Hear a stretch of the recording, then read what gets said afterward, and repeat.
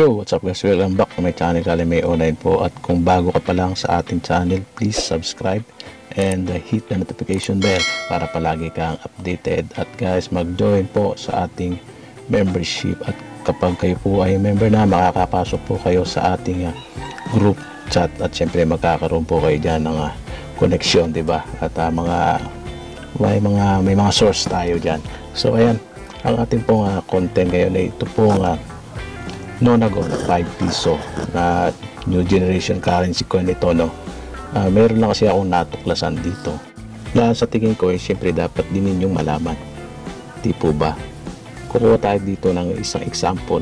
Itong uh, mga nasa taas na yan, yan po yung uh, example ng mga bow tie. Di Andres Bonifacio ay malabo siya eh. At itong binukod ko rito sa may kanan, yan po yung uh, mga extra fine extra fine details ng uh, bow tie. Yung nandito sa leeg, no? So, ipakikita ko yan sa inyo. Mamaya gagamitan din natin yan ulit ng uh, super zoom natin para mas makilatis natin ang uh, mabuti. Di po ba? At uh, pero bago natin yan gawin, sasaglit tayo dito sa n.numista.com para tignan muna natin yung update kasi nag-update itong Numista. Baka meron ng update ngayon.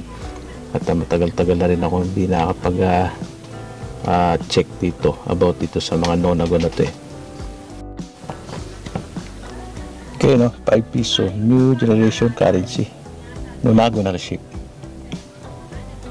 Ayan, alam pamilya na pamilya naman tayo dito no. Ayun yung comments niya guys no. So ganoon pa rin, wala pa rin update about sa mga comments.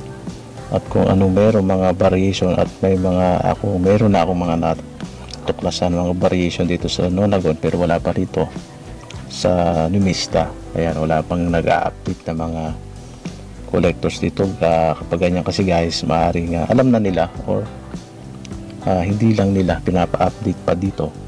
Ganun kasi yan. You know? So, ito kasi nga catalog na Numista ay nakasalalay lang po doon sa mga collectors na members nito.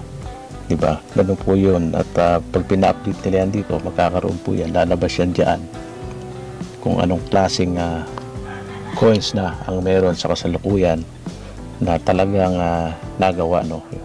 So ito no 2019 ng BSP 99% eh itong uh, 2019 ito yung napakadami. Ta taas ng percentage siya 99% at uh, value rito sa uncirculated is 64.17 no? At itong 2020 ay wala pa rin value at uh, wala pa rin tayong hawak nitong year 2020 na ito kaya baka meron na isa sa inyo dyan na nanonood na meron 2020, no? Paki-comment para malaman natin. So ngayon, dediretso na tayo dun sa coin para makilatis na natin. Okay guys, so ang focus nyo guys, uh, tignan nyo mabuti yung bow tie ha. Ayan, pansinin nyo yung bow tie.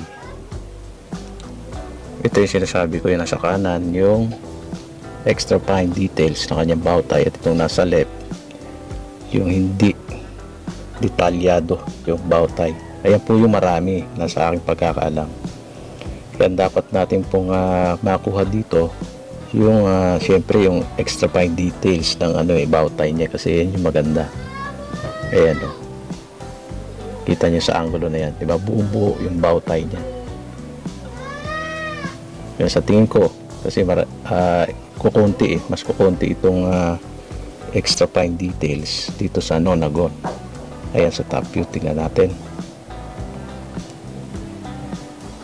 Kahit malayo kitang kita naman yung uh, difference nila eh, di ba? Uh, kahit patayin natin yung ilaw talagang hindi detalyado itong sa left. At itong ating sa right ay uh, maganda yung bow tie. Ayan.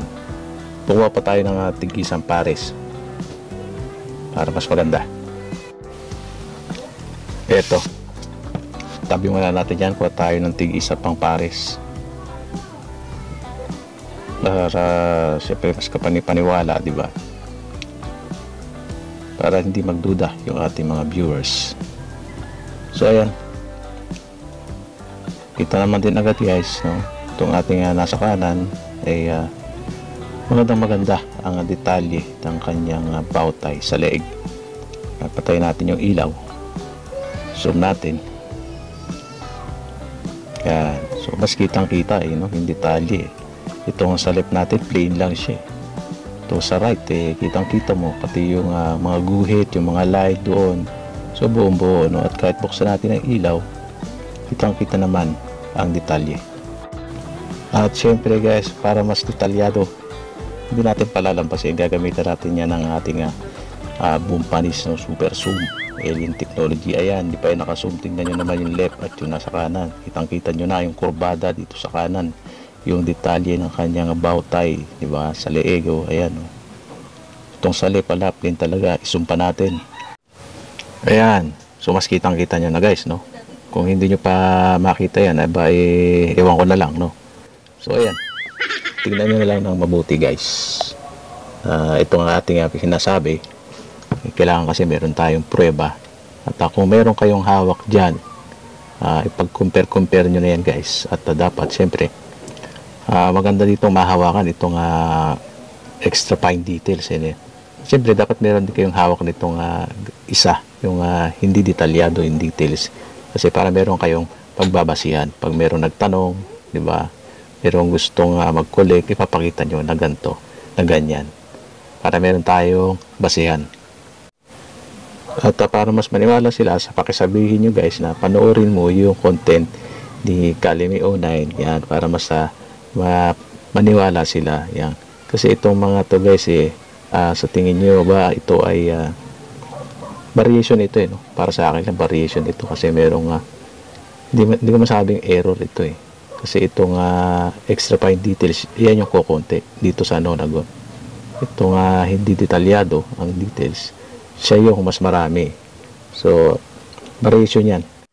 So, guys, huwag po ninyong kakalimutan i-comment kung ano ang hawak ninyo dito sa dalawa na to.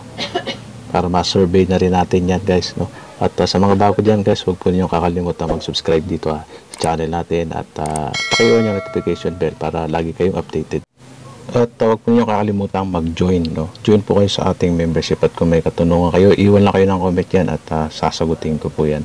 So hanggang dito na lang po ang ating content ngayon. Maraming maraming salamat po. Until next time po guys. God bless you all. I'm out.